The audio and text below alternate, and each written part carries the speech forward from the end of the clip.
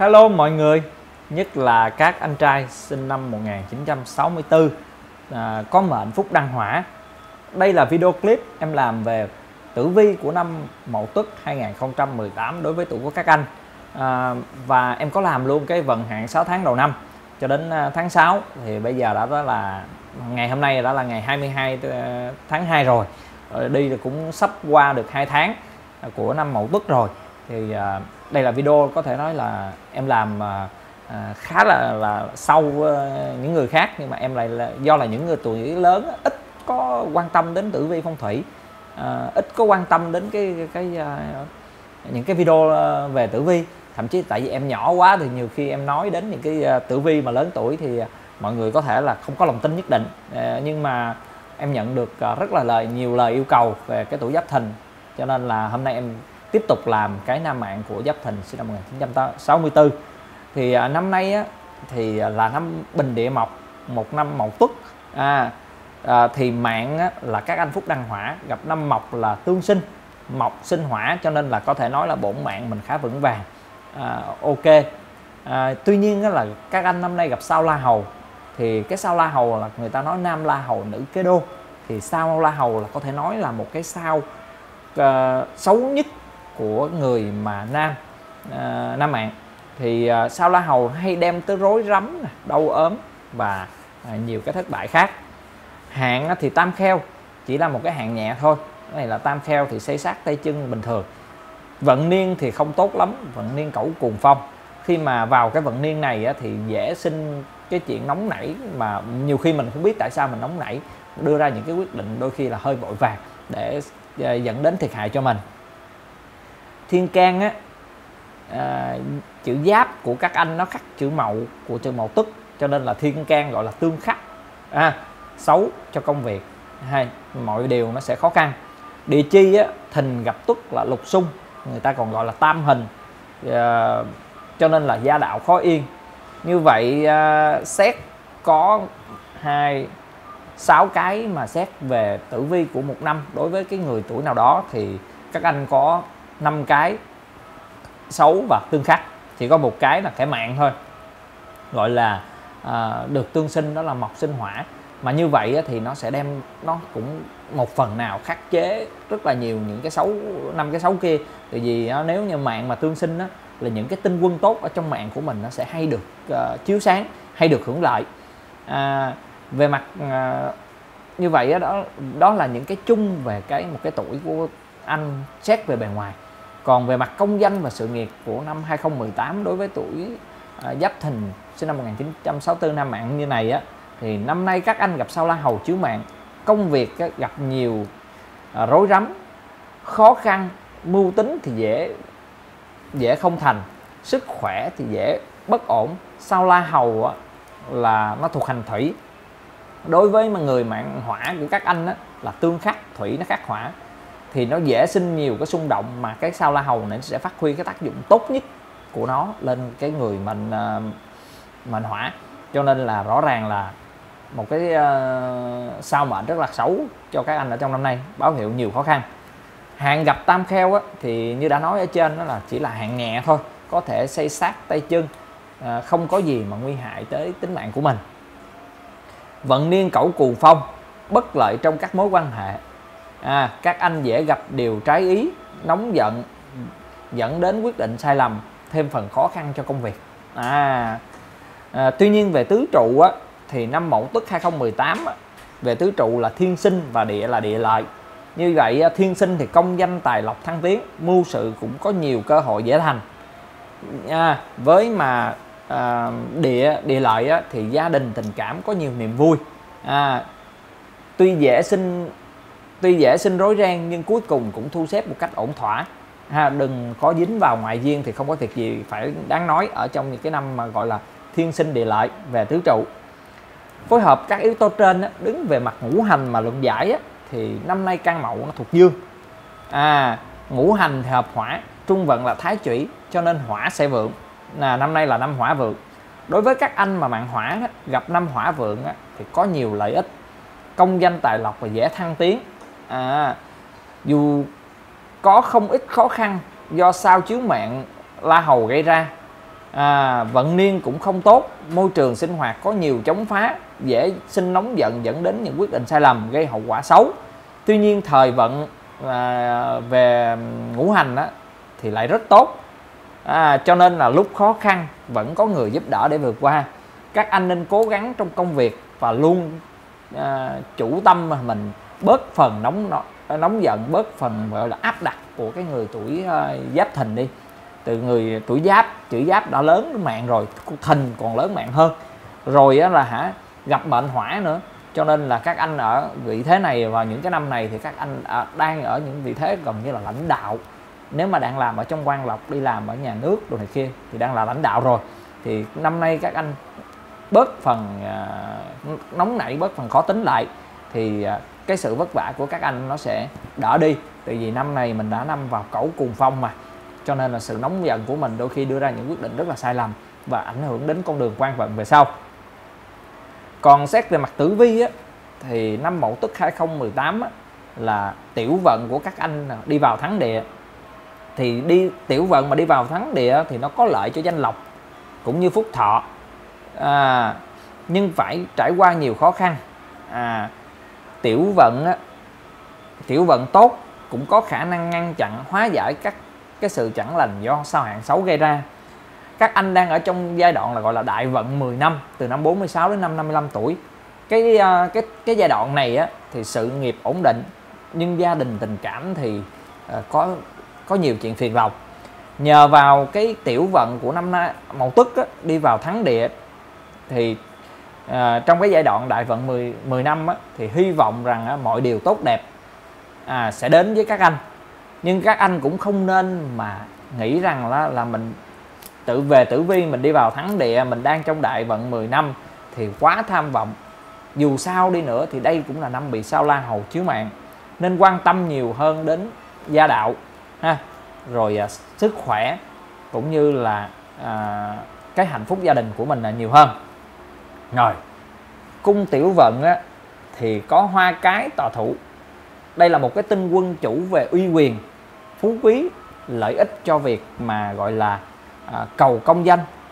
À, lại được á, là tả có thanh long hữu có bạch hổ. À, kết hợp thành bộ ba tinh quân chủ về địa vị và quyền lực. À, tiểu vận có các sao này á, các anh sẽ được thanh thông trong công việc cấp trên tin tưởng cấp dưới thì phục tùng ha trên bảo dưới nghe răng đe có kẻ sợ. À rất dễ hoàn thành trách nhiệm. Tuy nhiên là thái tuế cũng nhập tiểu vận vào năm nay. Mà năm nay thì các anh không bị trực thái tuế các anh bị hình thái tuế thôi cho nên cái thái tuế này nó cũng nhẹ nhàng. Cần cẩn trọng chống phá và tiểu nhân ném đá giấu tay đổ oan cho bản thân. À, có thể mẹ thằng nào nó làm nó xong rồi cái đổ oan cho mình ha cần cẩn thận đề phòng bên cạnh cái hình thái tuế đó, hội chiếu còn có là thiên hư đà la quan phủ địa võng. Các anh sẽ dễ bị tiểu nhân lừa gạt hay gây tốn hao tinh thần căng thẳng vì lo lắng. Các anh nó cần phải minh bạch trong công việc. Năm nay không nên làm việc gì mà lương lẹo sẽ có chuyện. À, với quan phủ tế phá ha đồng cung có thể bị rắc rối thua thiệt tranh chấp hay bị pháp luật hỏi thăm. À, nhớ nha. Có quan phụ đi chung với tế phá thì coi chừng. Cung mệnh thì có long trì nhưng gắn với địa võng đại hao. À, mặc dù các anh ấy, có vị trí tốt trong công việc và cũng có những cái thành công đáng kể đó là nhờ cái tinh quân long trì đó tức là cái vị thế của mình cái ghế của mình đó. Ha. À, nhưng á, nội bộ cũng có người quấy phá hay muốn lợi dụng các anh gây hậu quả bất lợi vừa bị mất uy tín vừa bị thiệt hại về tài chính. Vì vậy đừng thấy lợi mà thừa thắng xông lên ở trong cái năm này sẽ gặp thất bại rất là lớn cho nên các anh cần cẩn thận. Năm nay á, các sao lưu có là bạch hổ quan phù hóa kỵ sẽ khó phát huy tác dụng bởi là coi như là gặp tuần án ngữ cho nên sự việc mưu sự việc lớn sẽ không thành còn gây nhiều hao tốn về tiền bạc sức khỏe. À, đi rời á thì bạch hổ đi rời thì là một tinh quân xấu quán phù đi rời đi chung với địa võng đi với đại hao á thì nó xấu. Nhưng đi với hóa kỵ tức là hóa những cái cái cái điều kỵ cấm kỵ á thì nó sẽ tốt. Nhưng mà xui cho các anh là ông Tuần ông ở trong cái cái, cái, cái, cái sao chiếu này thì ông sẽ cắt luôn cả cái, cái 50 phần trăm cái sự uh, tốt đẹp của những cái ờ, tinh quân này cung tài bạch á, thì có thiên mã ngộ với hóa lộc. Cùng nhiều tài tinh hội tụ tiền bạc vẫn làm ra nhiều nhưng lại cũng khó giữ được do đại tiểu hao lưu chiếu khó có phần tích lũy lớn.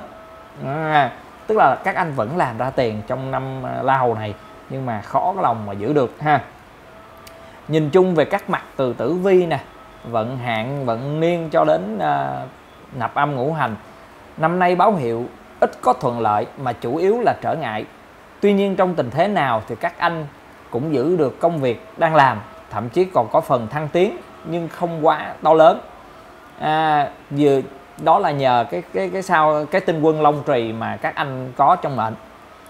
À, năm nay công việc to lớn thì rất là dễ thua thiệt còn còn phần phải đề phòng tai nạn bệnh hoạn. Có thể nói đây là một năm chỉ trung bình thôi thậm chí là yếu nữa về nhiều mặt. Các anh nếu là các anh biết bỏ bớt cái tham vọng đừng có mưu cầu quá việc quá lớn quá sức ở trong những cái năm này. À, biết vừa là đủ thì à, sẽ mọi chuyện sẽ hanh qua à, nhẹ nhàng để mà vượt qua cái năm khó khăn này ha. Báo hiệu à, cái cái vẻ bên ngoài rồi khó khăn cũng ta được có vài tinh quân tốt chiếu mệnh nhưng mà nó thật sự là một điều gì đó rất là khó khăn. Đó là thông tin về à, công danh và sự nghiệp của cái tử vi năm Mậu Tuất 2018 đối với người à, nam mạng tuổi Giáp Thìn. Thì à, về phần tình cảm và gia đạo của năm 2018 như sau. Năm nay công danh tài lộc thì có nhiều rối rắm, à, biến động bất lợi nhưng gia đạo thì bình an, không có gì thay đổi lớn.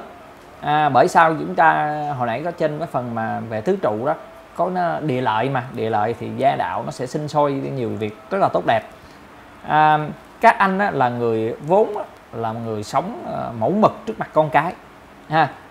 Cho nên là con cái thường là tôn trọng cái cái cái tiếng nói của các anh trong gia đạo. Tuy nhiên các anh cũng gặp không ít điều chướng ngại về quan điểm lối sống hay áp đặt người giáp thìn mà quen làm quan quen ấy rồi cho nên là đem cái cái cái cái cái, cái kiểu sống của ở trên cơ quan ở trong ấy về áp đặt gia đình gặp người mệnh hỏa hay nóng giận nữa. Cho nên là à, cũng gặp không ít lần khó khăn con cái nó tranh cãi ha. À, với đại hao nè tuế phá nhập cung mệnh cần đề phòng ngoại duyên gây tốn hao và rắc rối gia đạo. À để ý nha đại hao đi chung với tế phá mà dễ ảnh hưởng rắc rối với gia đạo và tốn kém tiền bạc lắm với nếu mà dính tới cô nào ha. Bên cạnh đó lưu chiếu có các tinh quân như là phượng cát nè hỷ thần hợp cùng nguyệt đức và thiên đức. Cho nên là gia đình có phần hưng vượng về con cái có thể có cưới gả hay thêm cháu nội ngoại. À là điều này là điều rất là vui vẻ của một cái người giáp thìn người giáp thìn là à, vừa có muốn có cái bên ngoài à, không có địa vị xã hội nhưng mà muốn có luôn cả địa vị của gia đạo và muốn cái gia đạo của mình nó rất là sung túc.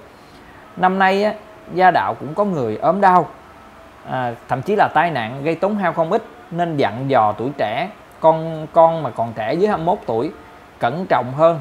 Quan hệ với bằng hữu, bạn bè thì năm nay thật sự là năm không có nhiều niềm vui. Do cái vận niên mà cẩu cùng phong cùng với cái ờ, sao hạn không tốt, dễ sinh chuyện nghịch ý. Nếu không tế nhị, thậm chí là còn gây thêm thù oán nữa. Không có lợi trong công việc. Đối với các anh mà trong tình trạng độc thân á, tuy năm nay có nhiều rối rắm, ha nhưng đây cũng là dịp tốt để có tình cảm mới vì năm nay đào hoa hợp cùng thiên mã thì rất là dễ có bạn ở phương xa. Nếu đã có ý trung nhân á, muốn lập gia đình á, tuy không thuận thời nhưng cũng không có gì mà đáng kiên kỵ cả cho nên là năm nay vẫn tốt. Về mặt sức khỏe thì năm nay can chi tương đối tốt. À can chi tương khắc chứ không phải là can chi tương đối tốt ha.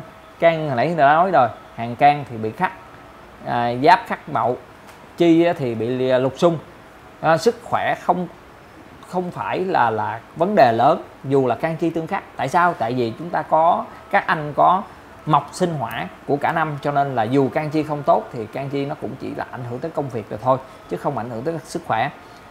Tuy nhiên là do can chi không tốt cần phòng tai nạn ha. Nhất là can chi không tốt cộng thêm là sao chiếu mạng cũng không tốt luôn. Có thể xảy ra việc chẳng lành lái xe cần cẩn trọng ha bổn mạng suy yếu trầm trọng cần để ý. À đó là tổng hợp của tử vi năm Mậu Tuất 2018 đối với tuổi của các anh sinh năm 1964 tuổi Giáp Thìn.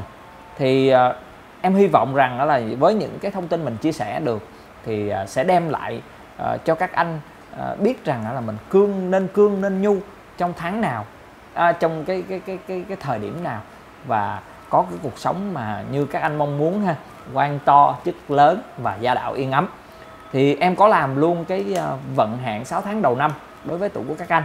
Thì uh, do là bây giờ đã là 22 tháng 2 rồi uh, âm lịch rồi thì em chỉ uh, nói tiếp tới từ tháng 3 trở đi cho tới uh, tháng 6 thôi không có nhắc lại những cái tháng kia để tốn thời gian của các anh thì à, 7 ngày nữa là tháng Bính Thìn à, tháng 3 âm lịch tức là bắt đầu từ ngày 10 16 17 của à, tháng 4 năm 2018 thì tháng Bính Thìn là một tháng thổ. À, mệnh á, các anh là mệnh hỏa. À, gặp tháng thổ tức là sinh xuất bản mệnh cẩn cẩn thận bản mệnh và sức khỏe. Thiên can bính à, gặp giáp không xung không hợp là trạng thái cân bằng tự chủ. Thìn mà gặp thìn á, là thuộc nhóm tự hình. Ý nghĩa của tự hình là sự cạnh tranh giữa bên yếu quấy nhiễu bên mạnh. À, cho nên là có thể nói là các anh là con thình mạnh thình nắm chữ giáp là thình lớn mạng. À, thình nắm mệnh thờ hỏa là thình lớn mạng hơn là thình nắm mệnh thổ. À như vậy là tháng 3 thì ngoài cái việc sinh xuất bản mệnh thì à, bản mệnh của chúng ta nó có có một số rắc rối có thể đau ốm nhẹ nhàng. Nhưng mà dù sao đi nữa thì năm nay tổng thể năm thì chúng ta được các anh được gọi là tương sinh bản mệnh mộc sinh hỏa. Tháng thì sinh xuất này thôi thì cũng không đến nỗi nào quá lớn lao. Thiên can bính giáp thì không sung thì chứng tỏ là công việc cũng không có gì mà quá nặng nề. Tuy nhiên là thìn với thìn là thuộc nhóm tự hình mà thường là địa chi nó ảnh hưởng tới uh, gia đạo. Thì gia đạo là sẽ có chắc chắn uh, làm cho các anh có việc buồn lòng thậm chí là gây gỗ uh, lớn chuyện vì dù sao là những nữa mà người ta gọi là năm sinh tháng đẻ. Năm sinh tháng đẻ thì nó sẽ có những cái khó khăn riêng của nó.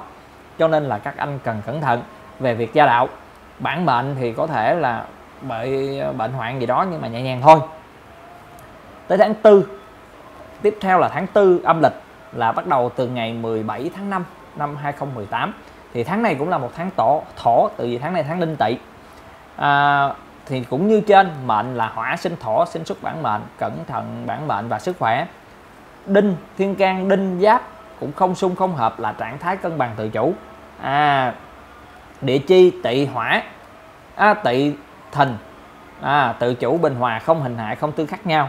Như vậy là tháng 3 với tháng 4 là khá giống nhau. Chúng ta các anh bị sinh xuất bản mệnh cho nên sức khỏe cũng có một tí gì đó khó khăn hơi ờ, khó chịu một chút thiên can thì cũng như tháng 3 không có việc gì cả không có uh, uh, quá lớn lao ha không tương hợp không uh, tương khắc gì nhau về mặt tử vi. Tuy nhiên về mặt nạp, nạp âm ngũ hành đó, là chữ giáp hành mộc chữ đinh hành hỏa là tương hợp hỏa sinh mộc cho nên là hy vọng là tháng tư sẽ sinh ra tài lộc cho các anh. À, đặc biệt luôn á tỵ với thìn tỵ là hỏa à, thìn là thổ cho nên tỵ sinh hỏa sinh thổ luôn về mặt nạp âm ngũ hành về địa chi cho nên là cả thiên can và địa chi gọt lại đều là tương hợp và tương sinh. Cho nên là hy vọng rằng gia đạo vui vẻ tiền tài sẽ sinh trong tháng này đối với tuổi của các anh. Rồi tiếp theo là tháng mậu ngọ tháng 5 âm lịch. À, tháng này là tháng hỏa.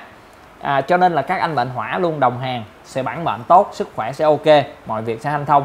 Tháng này nếu đúng là tháng hè ha cho nên là sức khỏe tốt lắm ăn nhậu đi chơi mà. Thiên can á, giáp với mậu à thì chữ giáp nó khắc chữ mậu. À thiên can khắc tháng công việc trở ngại. À, như đã nói là đúng không? Hồi năm thì năm mậu tức có tháng tháng mậu ngọ hai chữ mậu mà thiên can nó khắc thì chắc chắn công việc sẽ sinh rối rắm. À, sẽ có những cái mà các anh không vừa ý trắc trở. Nhưng dù sao đi nữa chữ giáp của các anh khắc mậu tức là thiên can khắc tháng thì các anh vẫn giải quyết được, nhưng mà tốn đầu óc, tâm trí hơi nhiều một chút xíu. Địa chi ngọ thìn cũng tự chủ bình hòa, không hình hại, không tương hợp. Tuy nhiên ngọ là hỏa, thìn là thổ, cho nên có thể nói là tương hợp về mặt nạp âm ngũ hành. Như vậy là ngoài cái việc được đồng hàng về bản mệnh, địa chi thì được gọi là à, tương sinh.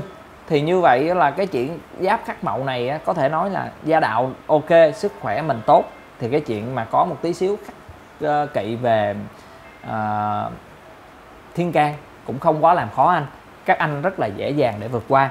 Tuy nhiên là uh, nên cẩn thận đừng để việc uh, lớn hoặc là việc gì to lớn xảy ra trong tháng này. Vì tháng này dù sao đi nữa chỉ giáp đã khắc mậu sẽ tốn của các anh tâm trí khá nhiều. Tiếp theo là tháng kỷ mùi. Cũng là một tháng thiên thượng hỏa nữa. Thì hỏa thì các anh đồng hàng ha thiên can chữ giáp nó hợp với chữ kỷ đây là sự hợp trung chính chủ về chữ tính. À, địa chi mùi thìn. Thìn tuất sửu mùi. Ha nằm trong tứ hành xung nhưng mà xa nhau quá. Về mặt nạp âm ngũ hành thì thìn với mùi là cùng hành thổ cho nên là tự chủ bình hòa không hình hại không xung hợp với nhau. Như vậy tháng này ngoài cái việc à, được tương sinh bản mệnh giống như tháng 5 à, tháng mậu ngọ. Thì tháng tháng này còn được cái mặt là ngũ hợp trong thiên can mà ngũ hợp thì sanh ra rất là nhiều điều sanh ra tài lộc sanh ra nhiều điều khác nữa. Như vậy rất là thuận tiện. Thìn với mùi á, thì trong tứ hành xung thật nhưng mà nó xa nhau quá cho nên là nó không có gì gọi là quá lớn. Cho nên có thể nói là tháng 6 là một tháng khá an lành và tốt đẹp. À, các anh nên tận dụng tháng này để mà kiếm tiền để mà đưa ra những cái việc mà có thể là mình cảm thấy là những tháng kia mình làm mình không an toàn thì tháng này nó có nhiều điều thuận lợi nó sẽ giúp cho các anh có được tài lộc tiền tài. Em hy vọng là tháng này sẽ đem lại các anh rất là nhiều tiền. À, như vậy là à, em đã chia sẻ xong cái tử vi của năm Mậu Tuất 2018 đối với tuổi của các anh sinh năm 1964 tuổi Giáp Thìn. Hy vọng rằng nó là những cái thông tin bổ ích để giúp các anh ha, ứng dụng vào từng tháng Ờ, ờ, để mà mình có được cái thắng lợi và đề phòng những cái hung họa mà có thể để xảy đến với tuổi của các anh. Một cái tuổi mà có thể nói là thường 70% là làm quan còn không có thì nắm tiền tài khá lớn ha. Cho nên là các anh à, là người vốn dĩ thành công thì ứng dụng cái việc này vào thì cái sự thành công nó càng lớn hơn. À, xem video thấy hay các anh xin bấm like và chia sẻ bên dưới. Nếu ai chưa đăng ký kênh anh ba tử vi xin bấm đăng ký kênh anh ba tử vi bên dưới để đón chờ tử vi phong thủy của tuổi của mình thậm chí là tuổi của bạn bè người thân và gia đình mình. À, rất vui vì mọi người đã chú tâm theo dõi. Bye bye và hẹn gặp lại mọi người ở video sau. Bye bye.